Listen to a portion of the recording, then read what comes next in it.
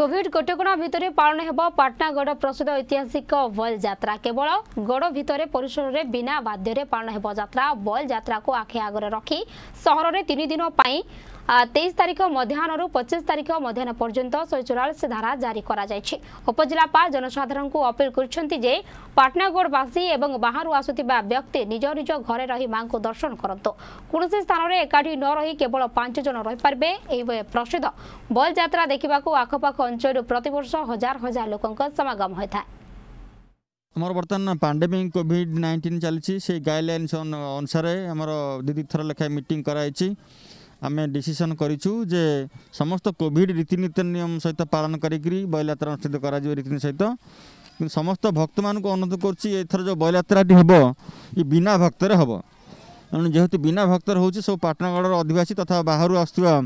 ଅନ୍ୟ ଅଧିବାସୀମାନଙ୍କୁ ମୁଁ ଅନୁରୋଧ କରୁଛି ସେମାନେ ଏଇ ଏଇଟା ଆମର